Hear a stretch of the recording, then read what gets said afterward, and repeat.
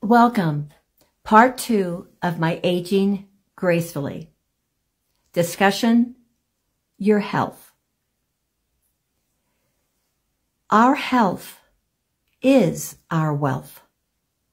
I think as baby boomers, we really realize this. And yes, we get it.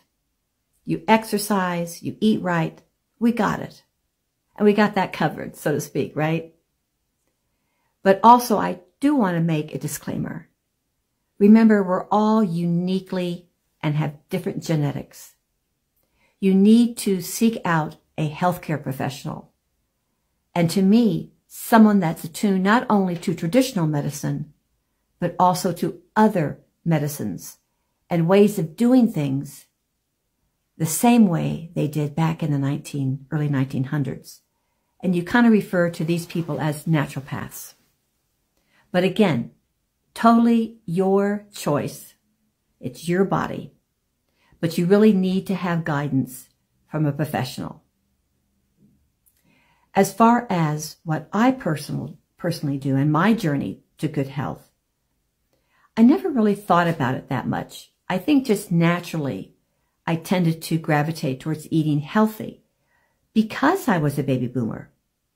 You see, in my generation, my mother it was easy. She would get food and groceries, not from a grocery store, from, but from a local farmer. And my aunt, they even lived in a farm in Montana. When we would go and visit, they'd go out to the, the chicken uh, area and get fresh eggs and then go and, and get some raw milk from the cow. That's just the way life was. Now, this was back in the 19, late 40s, 1950s.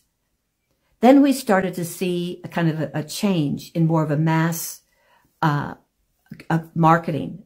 This is where the big grocery stores started started being developed because of our generation. Remember, the baby boomer generation put a massive pressure on the world for everything from food, from cars, from products, from healthcare, everything because of our numbers even my class, my whole uh, class from elementary school all the way through college, it was always the, my generation where we put pressure on the colleges, on the classroom, on the sizes. They were always overfull. They sometimes had to have two classes. But that's changing because slowly we're dying out. and the pressure on the world, on all these things, the pressure is not going to be there. And it's not there.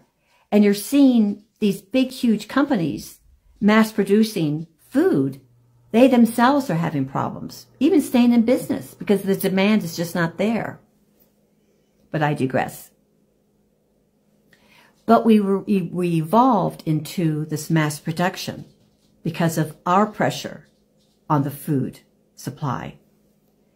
And that caused those companies to make things for profit. And you really can't blame them they're just companies mass producing food, coming up with new ideas like potato chips and all this kind of stuff for profit. That's what companies do. But we're now learning, and the pendulum is kind of shifting back. We're learning, uh-oh, perhaps that's causing obesity and all these diseases, with diabetes and all these things. Diabetes wasn't, I, I didn't even know what the word was back in the early 60s. The same with Alzheimer's. I didn't even hear that word until the 1980s. So you have to understand we're shifting back to my grandma's way of doing things again. Buying local. You grow, grow vegetables. You grow tomatoes. Like in my little community, I live in a condominium and I'm, I'm a widow. It's just myself. I can't go to my local farmer. Now they'll have farmer's market during the weekends where I can go and purchase fruit and vegetables. But there is a health food store that actually is taking a lot of families, such as me, one person, combining me with another family, maybe of five people, and in bulk, we place orders to the local farmer who delivers it to my health food store. And then they alert me, I stop by and pick up my locally grown products. But still, I do go to grocery stores because it's just easier. And I do even have groceries delivered to me because it's just easier. But when I'm in the grocery store, I never go up and down the middle aisles. It's always on the periphery. I'm always going to the produce. I love avocados, I love vegetables, and that's just what I buy. Other than your paper towels and those basic needs. But that's basically what I do. And number two, listen to your own body as far as your hunger. When we're younger, we're, in this program, you have breakfast, you have a snack in between, you have lunch and another snack or whatever. That probably works well when you're younger, but I find that I'm never hungry in the morning. I mean, when I first retired, yes, I was having my oatmeal with my blueberries and, and, um, you know, some seeds and chia seeds or whatever to be healthy. But I really wasn't hungry.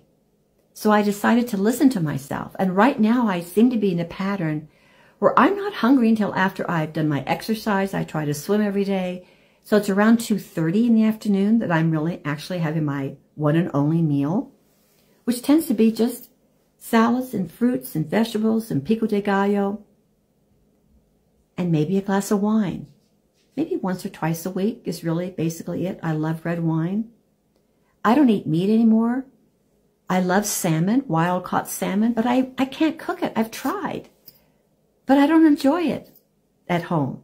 So when I'm out, if it's on the menu, I always order it. But other than that, I really don't cook meat at home at all. But that works for me. You have to work, you know, choose what works for you. And I also find that when I'm going to travel, I'm very careful, perhaps about a week prior, on what my diet is because when I travel, particularly with long airplane flights internationally, I, I really don't, I'll have a small, maybe fruit, but that's about it. And I just drink a ton of water. Otherwise, I'm always having some kind of tummy upset and I don't want to be getting up and down in the airplane. So I'm very careful too when I travel. But once I get to my destination, do I enjoy the food and enjoy the wine and enjoy the company? And you know what's interesting? When I've been in Italy or in Austria, or even recently in Germany, I find I never, ever, ever get sick to my tummy. Whereas when I'm back in the U.S., sometimes the things that I buy, as careful as I am, I'll sometimes have tummy aches. I don't know why. I don't know why. But the important thing is, is to listen to your body. And we hear about intermittent fasting. And yes, that does wonders to your body because what does that do? That allows your body not to be so concerned with digestion. And now your T cells, your will go and they'll destroy the cancers because we're all exposed to cancers. That's just part of living. But they will destroy the amoebas, the parasites, the molds, the bacterium, whatever that can cause disease. That's the beauty of intermittent fasting, but I don't even recommend that. I just say, listen to your own body. And it ends up because my meal's around 2.30 and I don't eat until around 2.30 the next day, other than occasional fruit, you know, watching my TV or streaming movies. I technically am kind of doing intermittent fasting, but I'm not realizing it. You see, the point is, I think you need to be discerning and listening to yourself. Yourself, your own body is very, very wise. And there may be some days where you're not hungry and other days where you're really hungry. Then, then follow it. But just be mindful of what you're putting into your mouth. Try to put things that are fresh and organic. And the less man has been involved in being involved in the processing of it, the better. It's that simple rule. So stay tuned for part three. I'll delve into a little bit on exercise.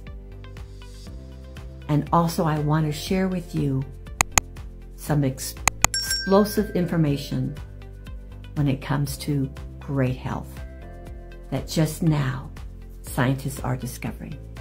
Have a great day.